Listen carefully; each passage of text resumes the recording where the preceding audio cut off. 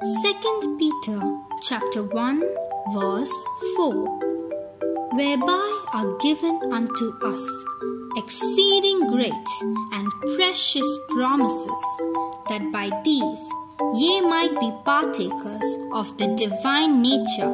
having escaped the corruption that is in the world through lust.